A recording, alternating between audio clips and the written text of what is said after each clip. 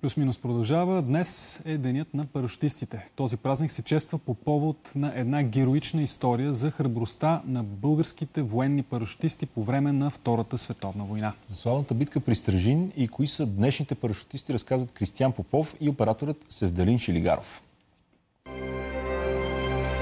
18 октомври 2019 година датата на която се навършват 75 години от бойното кръщение на българските парашутисти. Парашутната дружина е, получава своето бойно кръщение. Това е, е участвайки в боя по овладяването на боевете, по-точно в овладяването на укрепената позиция на германците при Стражин. Битката при Стражин е част от Страцинско-Кумановската операция, когато България е минала на страната на съюзниците и армията ни се опитва да пресече отстъплението на немските войски от Гърция парашутната дружина е изправена на най-тежките участъци от фронта.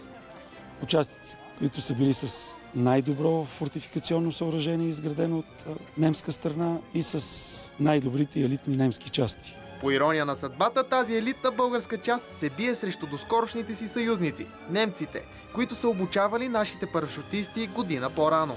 Това е противник с дългогодишен боен опит. А всъщност това е бойното кръщаване на, на нашата дружина, въпросната парашутна.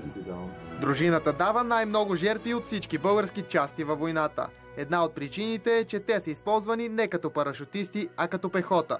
За това пише и капитана на бригадата – Любомир Ноев. Първо, парашутната дружина бе докарана на 17 срещу 18 октомври на изходната линия за атака, без достатъчни сведения за врага и започна атаката в 6 часа на 18 октомври 1944 година, т.е. преди да съмне още добре. В резултат на това, без да има сведения отгоре или да е имала възможност да разузнае, влезе в бой с опитен враг, който е изненада от близко разстояние и нанесе излишни жертви. В първите минути буквално, първите атаки, рано сутринта на 18 октомври 1944 година, дружината губи половината от всички убити, които има в по време на цялото си участие в войната. По време на атаката загиват 35 души, а 55 са ранени. Но въпреки това височината е превзета. Успяват. Успяват, въпреки че не успяват от първия път. Мъжете от дружината проявяват изключителен героизъм, сържават се за България и винаги успяват, макар и с видни жертви, да изпълняват задачите.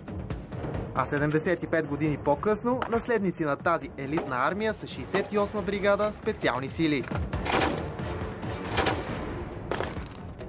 Чако е част от бригадата от 13 години. Пред нас всичко е много комплексно. Изисква се да си издръжлив, както физически, така и психически. В бригадата се занимаваме с много различни неща, като включваме нали, скоковица с парашут, имаме водолазни курсове, амфибийни операции, оцеляване, снайперски курсове. А парашутните скокове се извършват от пределно ниска височина. Когато набере около 150 метра височина, получаваме команда от, от инструкторите, ставаме и закачаме карабинката на стегащо въже за десантното въже, което е закрепено по цялата дължина на, на самолета. Това е статичното въже на парашута, изважда се, парашутиста го закача в а, борда на самолета. След като наберем височината 400 метра, се отваря вратата, спускача оглежда отгоре дроп зоната и след негов сигнал скачаме един след друг с около секунда разстояние. И 40 човека скачаме за по-малко 2 минути. За спомен към миналото и поглед към бъдещето.